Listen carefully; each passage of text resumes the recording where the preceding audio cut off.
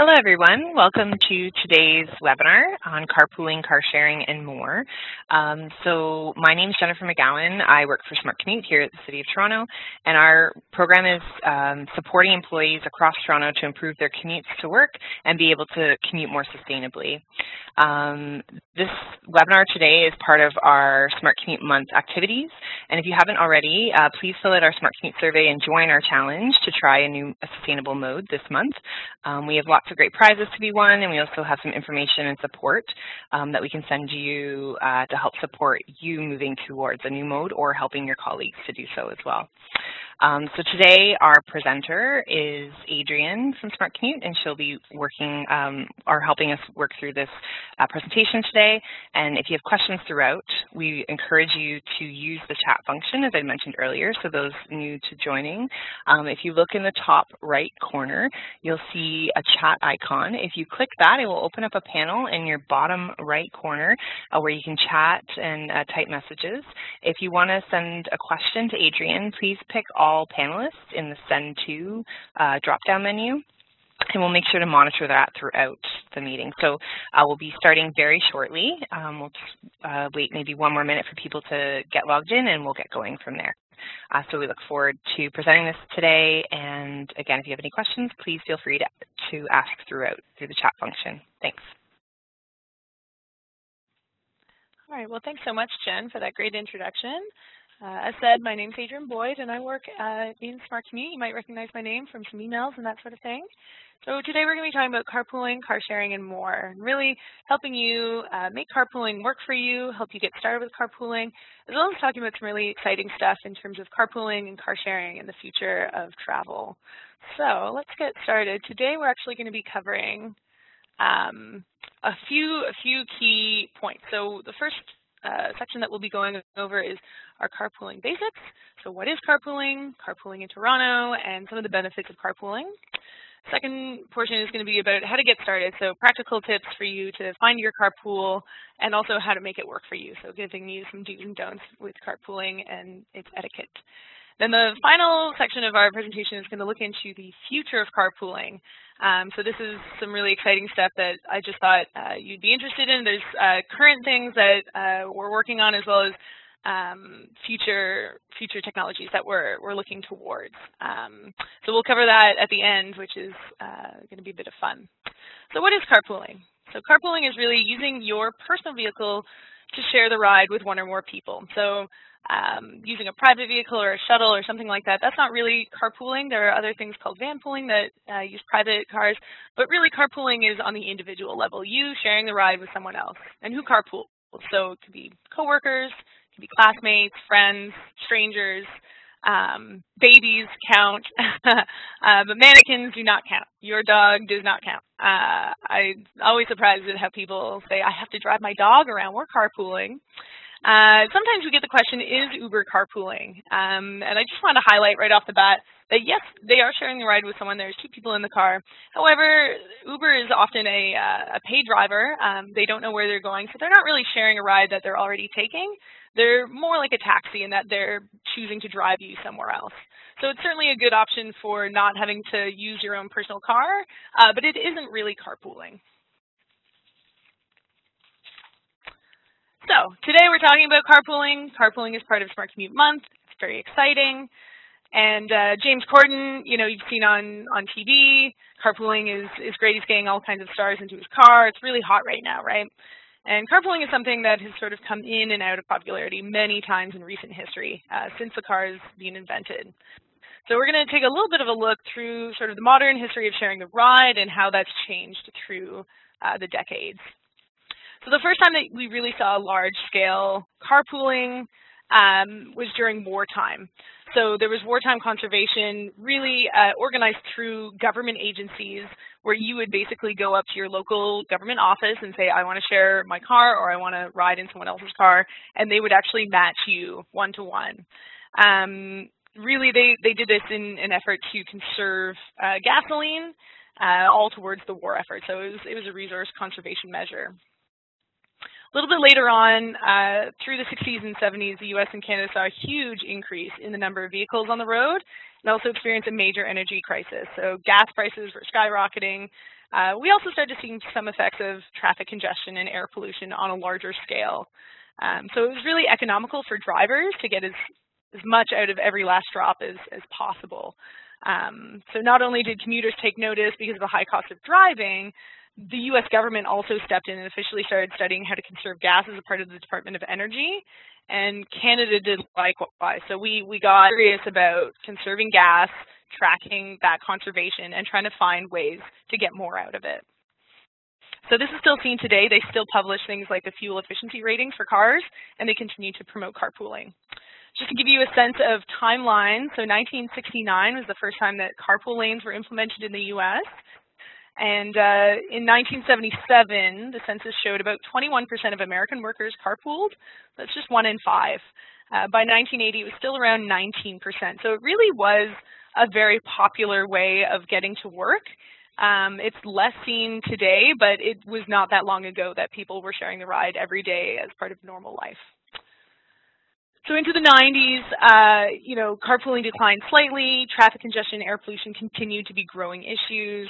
Traffic congestion also started to be a major issue that employers faced. So this is when the earliest versions of programs like Smart Commute started to emerge. They wanted to help their workers, their commuters, find better options and provide proper support. I also just wanted to point out that there's a really great carpool uh, movie with Tom Arnold uh, called Carpool. It's on YouTube, 100%. Uh, you could watch it there. And um, it's it's a very interesting take on carpooling, but it was sort of still part of the public sphere and the conversation um, and so forth. So as far as today, we experience even worse, worse traffic congestion and concerns over air quality. Uh, so we've come to realize that this affects our economy as well. You know, it's, it's important to have people move around to go shopping, go to work, deliver goods. Uh, this is really critical. We need to be able to move around. Um, however, we can't really build our way out of the congestion that we're experiencing these days. We simply run out of space.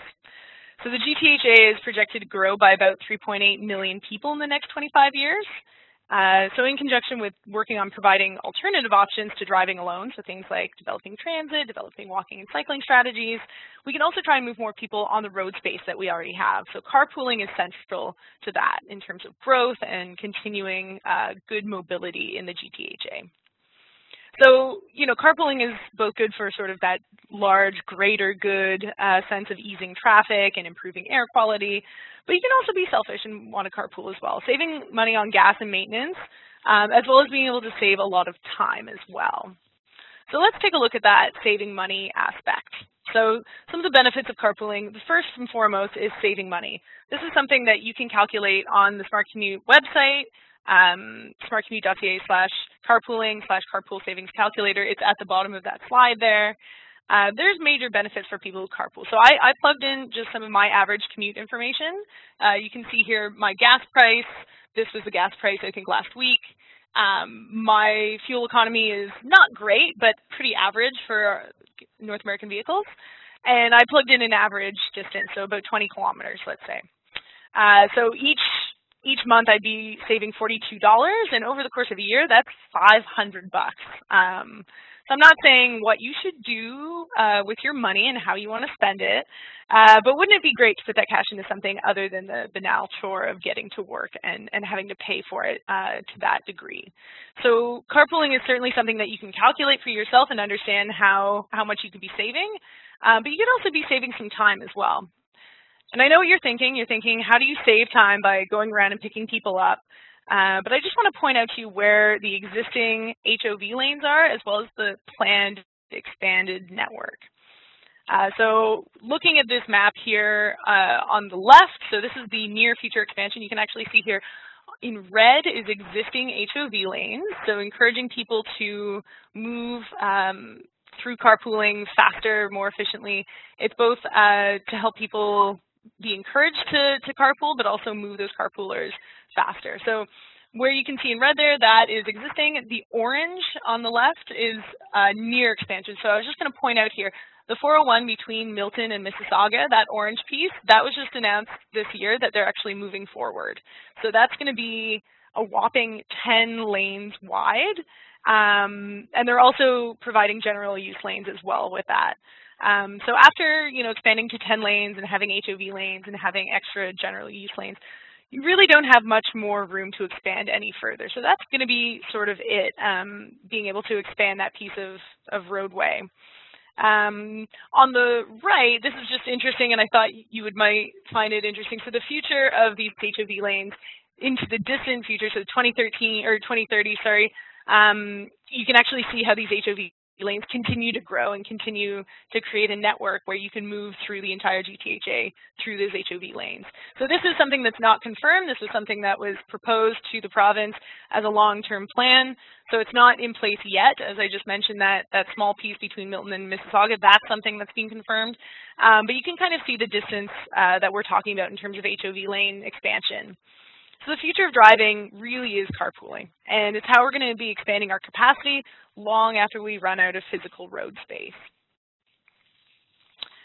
I also just wanted to point out here, not only can you save time and money, you can also do so quite conveniently. So the province has provided um, a host of uh, Ministry of Transportation, MTO, uh, carpool lots. So these are carpool lots that you can find um, online on the MTO website um, or 511.ca, and it actually has the map here of where all these lots are located. They're always going to be next to a highway, so even if you know your carpool partner is not your next door neighbor, perhaps you're coming from two different uh, directions, but you're going to the same on-ramp, you could meet your carpool partner at the highway, no detour needed. So that's how you can also furthermore save time is meeting your carpool partner at these lots and then riding together, maybe using those HOV lanes. So this is a great alternative uh, if you weren't sure of someone who's, you know, your right next door neighbor. Another benefit that I just wanted to highlight here is getting a reserved GO spot. So at all GO train stations, or almost all GO train stations now, um, there's a lot of uh, carpool parking spots. So most GO train stations have some sort of carpool parking near the platform, so it's convenient space that you can go. Um, when I was taking the GO train, you know, I would, ooh, I would watch, um, I would watch people sprint across the, the parking lot uh, to catch the train, right? So parking way, way far back and having to trudge through potentially snow or uh, or the heat um, to try and catch that train. So uh, the great thing about these carpool lots is that about 90% of GO riders are within a five-minute drive of someone else catching the same train. So these are based on surveys that GO Transit has done of the people who use these, these stations. Um, so you can really save a lot of time by carpooling and using these spaces. Now the way that you do that, and I've just put the URL at the bottom here, um, it's gotransit.ca slash carpool. You register together online. You really just put your name and some contact information as well as your carpool partner's contact information. They will send you a tag in the mail that says this person has registered to carpool. When you are carpooling, you put that tag up in your car window and you get to use those reserved spaces, which is great. Um, let's say your carpool buddy can't make it that day, no worries, you take the tag down, you park normally. But it's really nice when you are sharing the ride and you can you can have that reserved space. Um, just through the rush hour, which is great. So yeah, save the cardio uh, for the gym and park close to the, the platform instead. So perhaps at this point, you're completely sold on the idea of carpooling and you're excited about it, but the actual task of finding someone to carpool with sounds completely daunting. The number one remark that we get at Smart Commute, uh, no matter whether you're downtown or out in Hamilton or anywhere in between, uh, is that I would totally carpool, but no one lives near me. Now we know for the vast majority of commuters this simply isn't true. Uh, you just can't see that there's tons of great carpool partners, potentially also wishing that they could split the cost and use those HOV lanes as well. And yes, you may live out in the middle of nowhere, but you could be picking someone up along the way. You know, remember those highway carpool lots? They can make things really convenient for you, where you might be coming from somewhere where perhaps you are all alone in the in the country. Um, but picking some up along the way can also really have a great savings effect for you. So you, are looking for a carpool partner. Perhaps you, you've asked around your office, no luck, and you're thinking, I'm all out of luck. I, I, uh, I'm not going to be able to participate in Smart Commute Month. I'm not going to be able to participate in Carpool Week in February, um, and I, I'm going to have to spend a fortune driving alone to work. Well, fear not, we do actually have a wonderful tool in Smart Commute that solves this problem. So Smart Commute has this ride matching website called the Smart Commute Online Tool. If you're not familiar, this website can help you find carpool matches. It can also help you find some transit, walking, and cycling directions if you're ever considering doing any of those. Today, we're going to be going through as if we're looking for a carpool partner because uh, this is a carpooling webinar. Certainly, we encourage you to check out your other options as well. Um, but let's start here. So this, this website is explore.smartcommute.ca, and it's linked in a lot of our campaign materials as well. So you go to this website here, you see at the top right, A is your start, so you would actually plug in your home destination or your home origin. So that's where you're starting, and your B is your work location. And then you just hit let's go, and then this screen will come up, and so you can see the map page that it brings you to. So along the left here, you can see the options available. You can click on carpool, and it'll bring you to the best matches for your trip. So these results, you can even see uh, how far the driver would have to detour to pick up passengers, how long that would take. What I'm pointing at here is, so uh, in, oh good, you can see my cursor. So here, so along the carpool section here, you can click on that, and um, it'll bring you up all these these great options. So Diana, Ashlyn, Marilyn, all of these people are along the way. I've plugged in sort of an average um, uh, commute here. You can also see on the map function that there are a number of other potential matches that are along the way. So perhaps um, you reach out to one of these people and it doesn't work out, you can go back and pick along all these other folks. Um, so it gives you a long list that you can scroll through to see who is a good match potentially.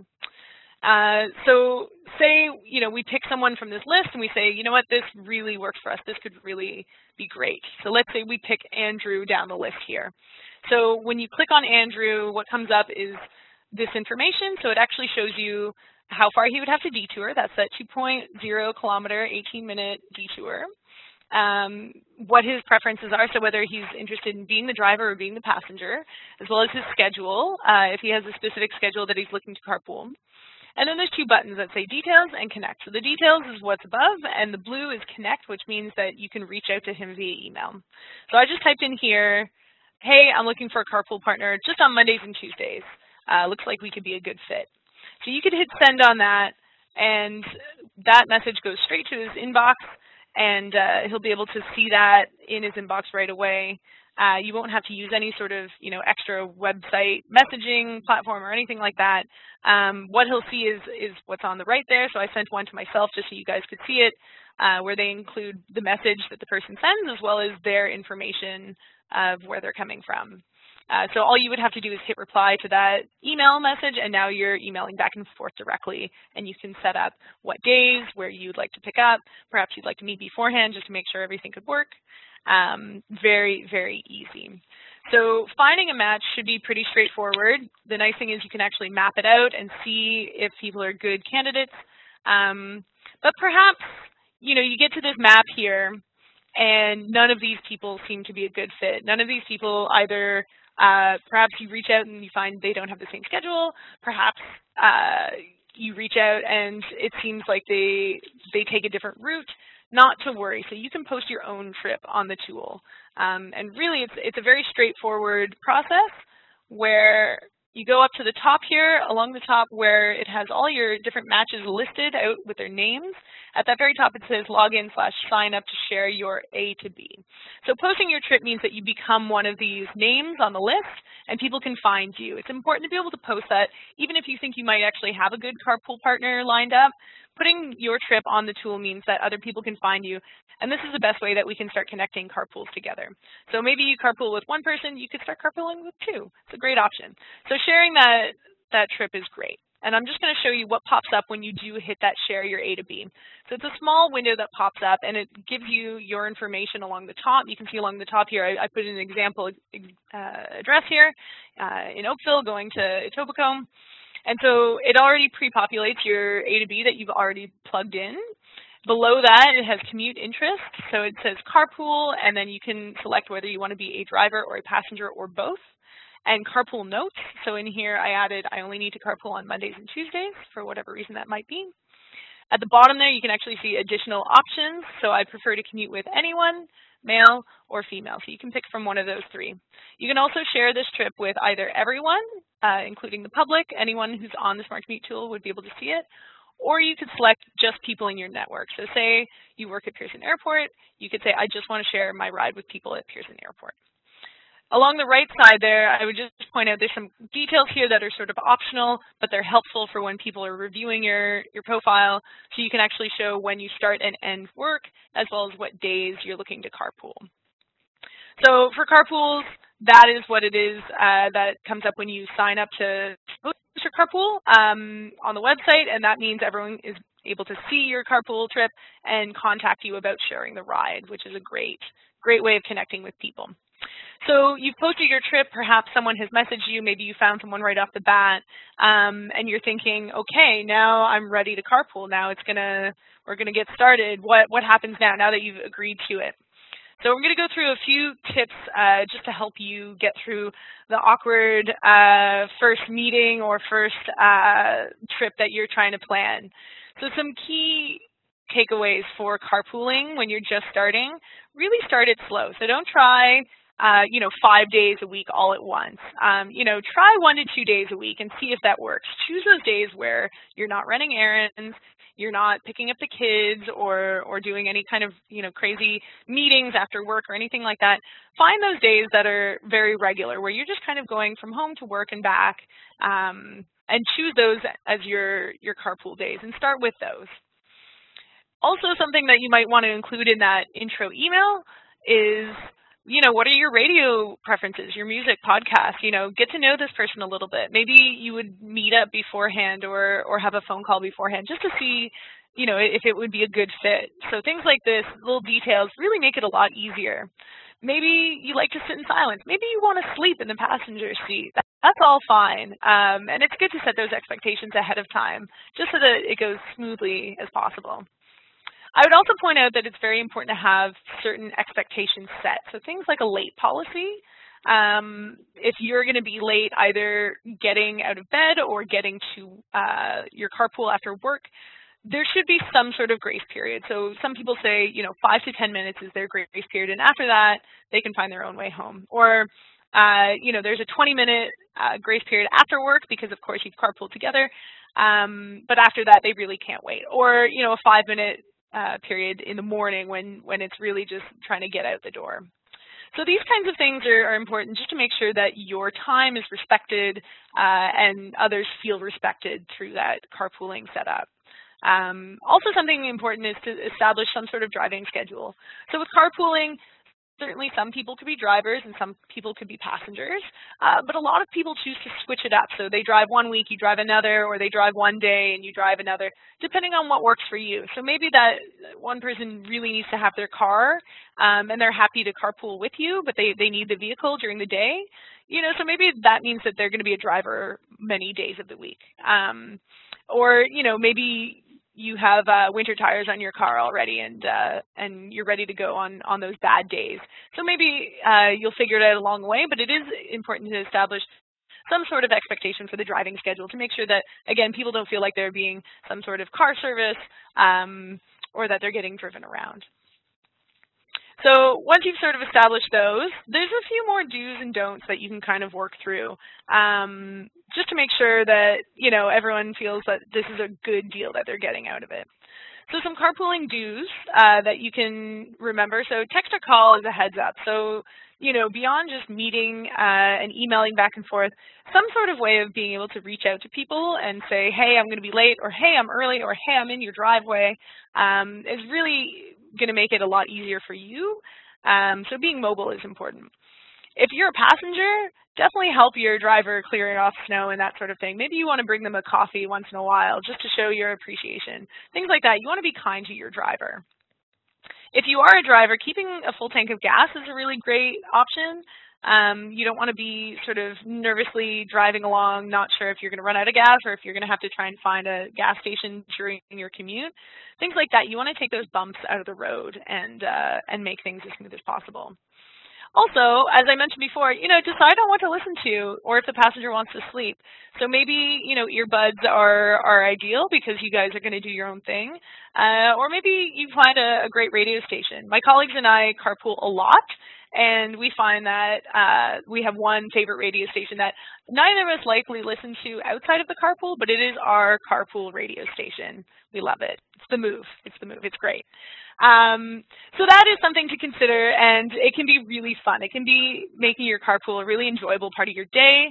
A lot of feedback that we get from our surveys on carpooling is that people actually enjoy that company quite a bit. I know it's, it's nerve-wracking to think, I don't, you know, I'm not sure if I want to share my personal space on the road, um, but really once you dive into it, people really like it a lot, and it, it ends up uh, giving them much higher satisfaction uh, with their commute. So don't be afraid to, to reach out and get to know your carpool partner.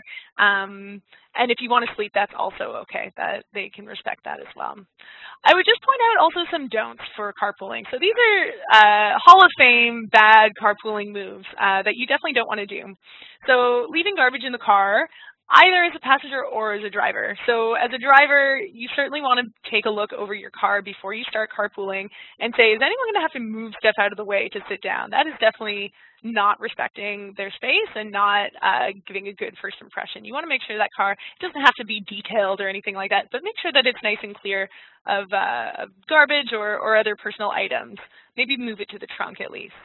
Um, if you're a driver, also uh, making sure that your passengers feel safe um, so not driving or speeding uh, or cursing other drivers, certainly being respectful of people on the road. You want everyone to feel good about uh, riding in your car and that you'll continue to maybe share driving privileges. Um, so that's that's a you know a just a golden rule in general, but it's also important for when you're riding with a, carpool partner. I should also mention, uh, just with that first point, not leaving garbage in the car. So as a passenger as well, I have frequently been a driver where people have left things in my car. Co coffee cups is uh, often something that they just tend to forget. So as a passenger, just be really uh, conscious of anything that you're leaving in the car and make sure that you're taking those little things away because you certainly don't want your driver to be driving you places and then also cleaning up after you. And that goes uh, likewise with that messy food point. So messy food, I have seen passengers eating messy food. I've seen drivers eating messy food. It's not great for the car. Um, so I would leave that at home. Perhaps a granola bar, even if you're a passenger, you could bring your, your driver a granola bar or something like that. That would be really sweet. Um, as a driver, I would just point out not running unexpected errands. So if you if you and your carpool partner know that you know you like to stop off at Tim's in the morning and that's great for you guys. You guys can hit Tim's together and that's that's a win. That's great. However, unexpected errands, so things like I forgot that I had to do this, I have to go pick this up, I'm sorry, and it's the day of that you're actually running these errands, that's a big no-no. So you don't want to be taking people's time uh, for granted and, and just driving around town. So certainly um, making it efficient, but also uh, clean.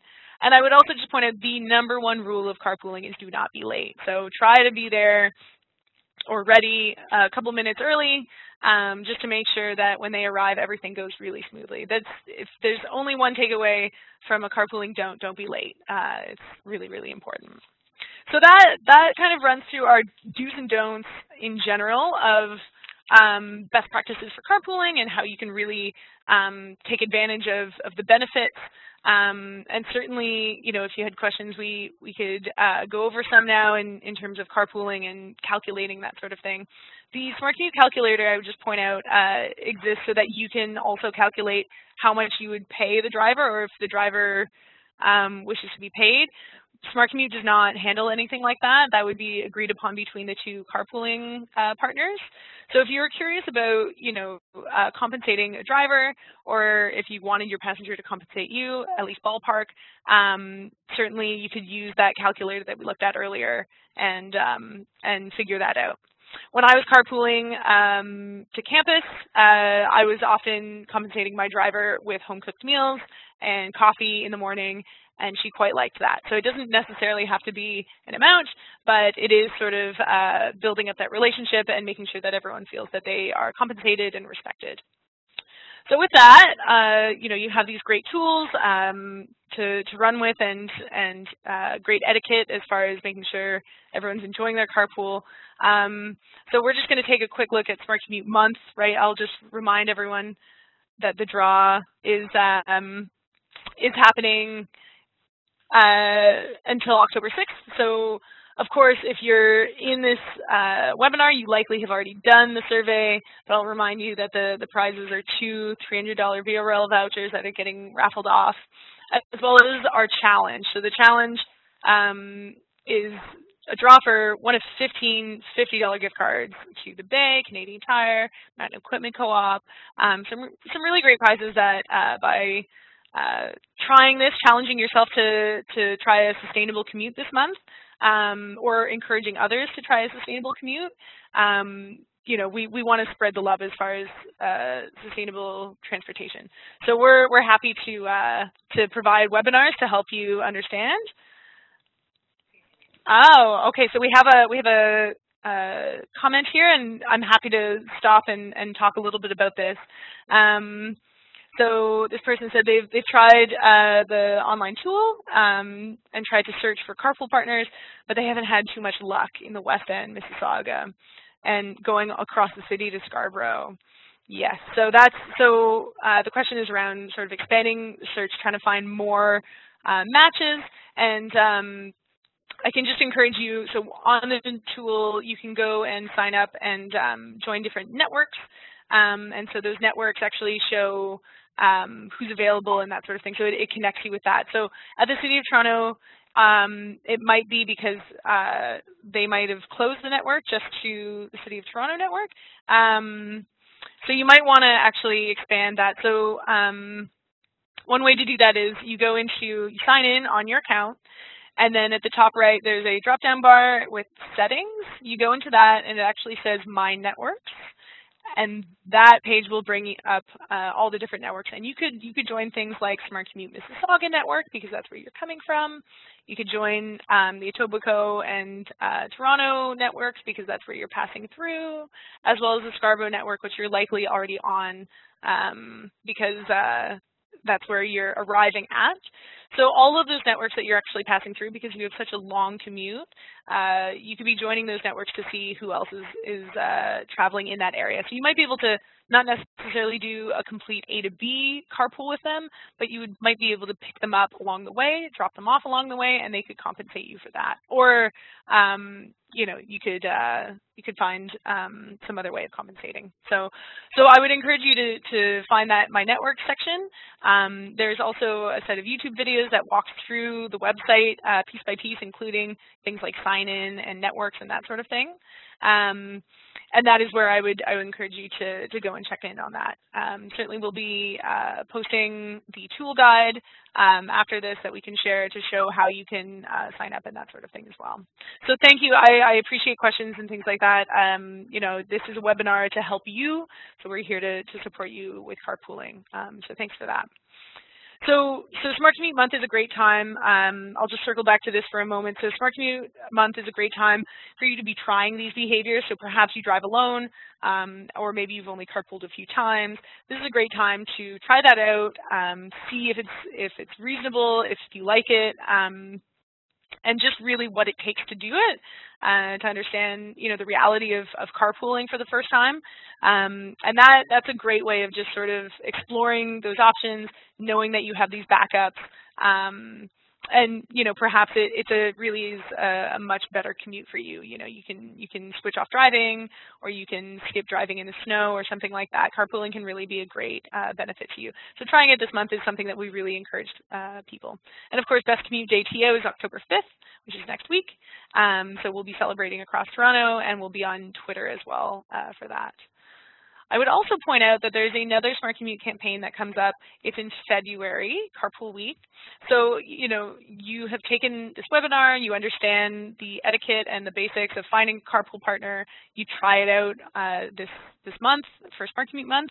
Well, you can keep up that good behavior, and we want to reward you for keeping up that great behavior. So long after Smart Commute Month ends, you still are saving money, saving time, uh, arriving more relaxed and stress-free, So Carpool Week is a great time for you to be celebrated for that great choice. And so we often have some sort of contest or uh, incentives uh, to be logging trips on that tool, on the Smart Commute Online tool. And then you can show, hey, you know, I'm still carpooling. This is great. This works for me. And um, and we're always celebrating that. So I'll just point out down here um, those uh, uh, those Twitter handles and hashtags. Uh, they do also announce through there, so you could always follow Smart Commute to see when those campaigns are coming up. And of course, the Smart Commute TO Twitter handle is the Toronto specific uh, Twitter Smart Commute uh, account. So that's where we'll be posting things uh, for Carpool Week and, and all kinds of exciting Toronto updates for transportation. So I highly recommend you follow us um, on Twitter. So I'm going to talk a little bit about the future of carpooling. I will leave time at the end uh, for questions, um, but I did want to talk a little bit about what what we might be expecting in the near future, in the distant future, um, of travel and getting around. So something that's emerging right now is dynamic ride sharing. This is something where you know you can open an, uh, an app up on your phone, instantly find someone to share a ride with.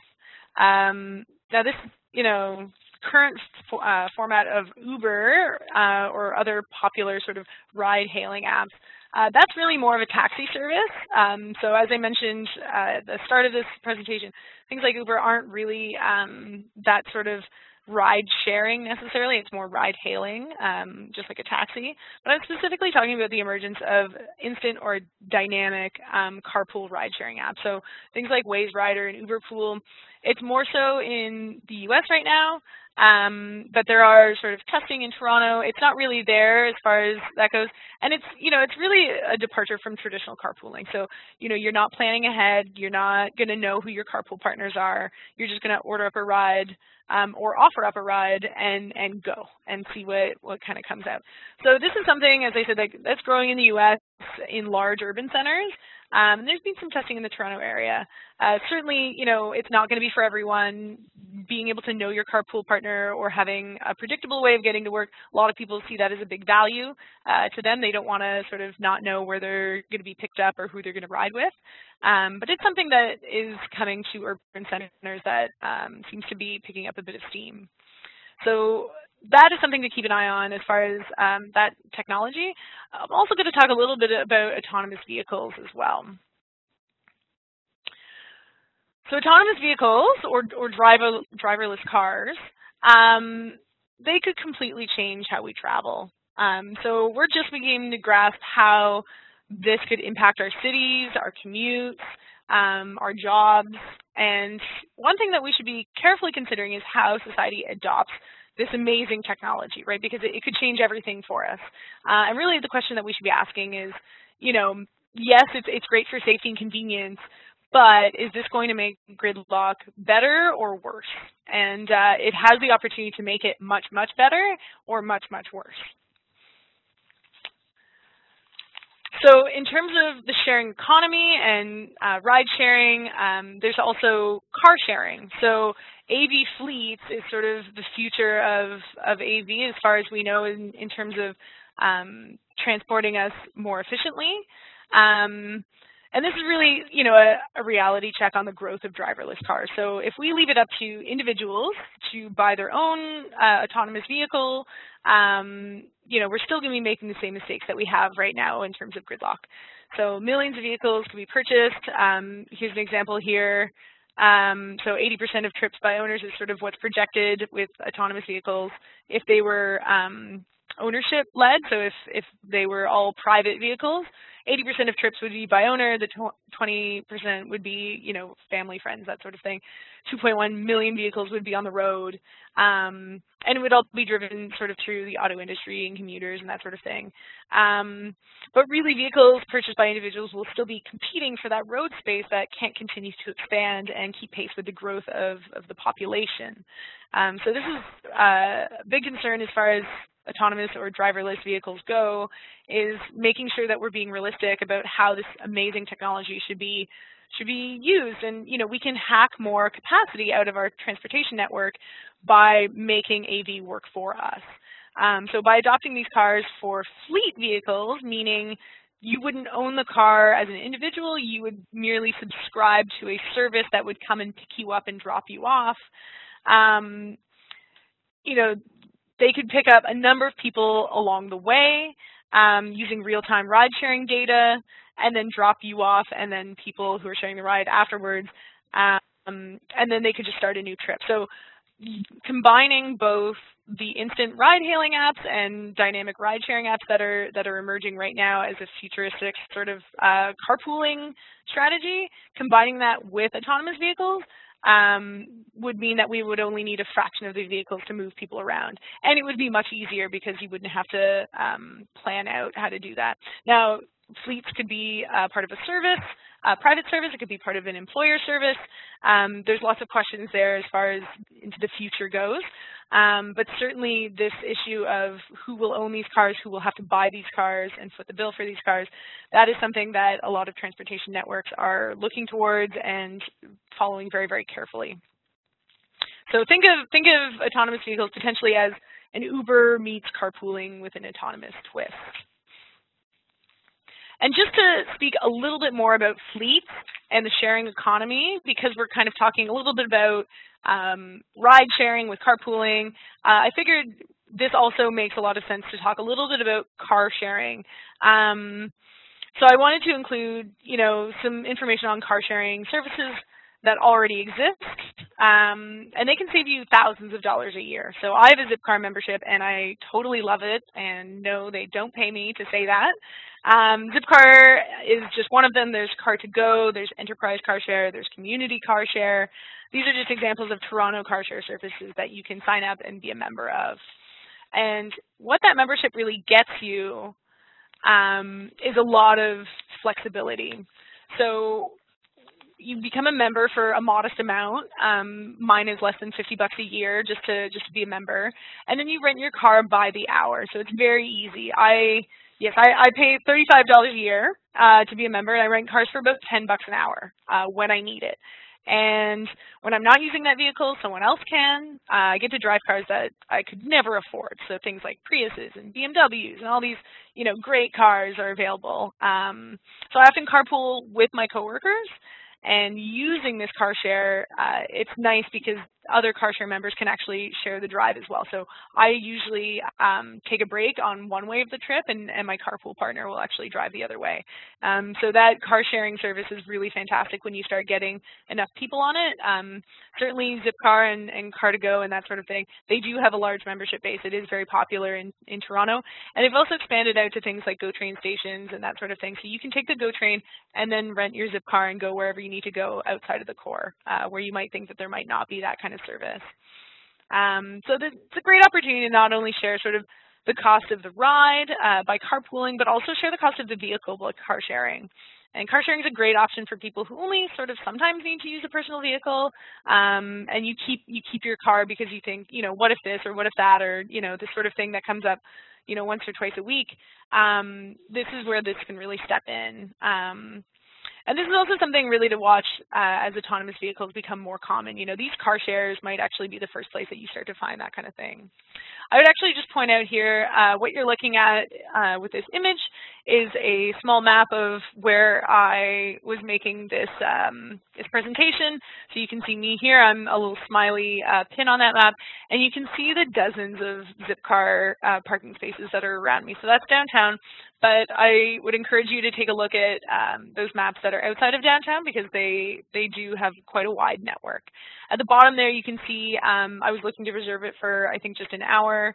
Um, so you can kind of see at the bottom there different cars that are available that are near me and how much they cost per hour. So some of them are, are fancier and they cost a little bit more than $10 an hour, but there's always sort of budget options there as well. So you would go on uh, your website um, or a mobile app and you could reserve it on the fly, which is really great. Um, and again, no maintenance cost for those kinds of cars. There's no fuel cost. They come with a fuel card. Um, there's no insurance cost. They insure you, which is amazing. So this is how you can save thousands of dollars um, is by, you know, not having your personal car where you have to pay for all of those things yourself, just subscribing to the service and using those cars when you need it. Um, so yeah, it's it's fantastic. And the way that it works is um, you simply tap in your car, and uh, oh, oh, I'm missing a slide. Well, that's okay.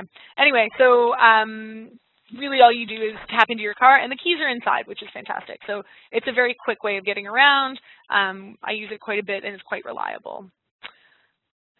So just to wrap up a little bit about what we've seen today, what we've talked about a little bit. Um, so carpooling and car sharing. So the benefits really um, of sharing your ride is really that gas money, people really discount it and say that it's, you know, it's it's just part of owning a car. People are quite complacent, and I would say you should challenge that because it really does add up over the year and over multiple years. You know, that could be thousands of dollars that could be going into an investment fund or a vacation or something like that. Um, so it really could be going to better things than just paying for gas to get you places.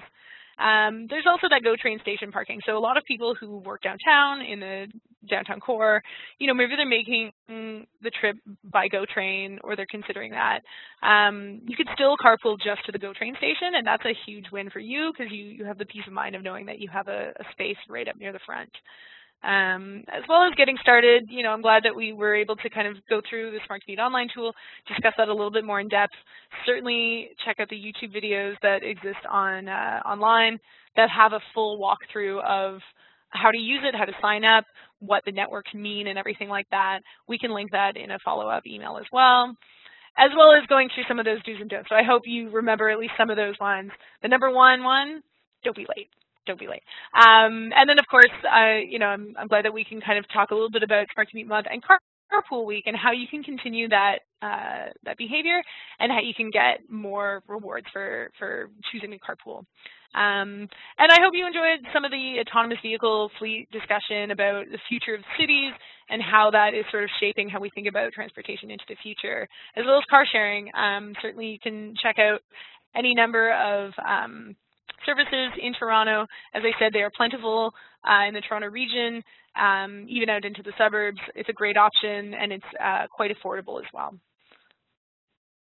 So I'll open it up to questions. Uh, Jen just opened it up there and um, we could have uh, myself answer questions um, or, or Jen, uh, depending on, on the questions that we might get. So feel free to type in your questions into that chat window. Again, it's at the top right there. It has a little chat uh, icon with the word chat at the top, and uh, it'll pop up a little chat window that you can type it in. Make sure that it's uh, set to all panelists so that uh, everyone can see your, your question.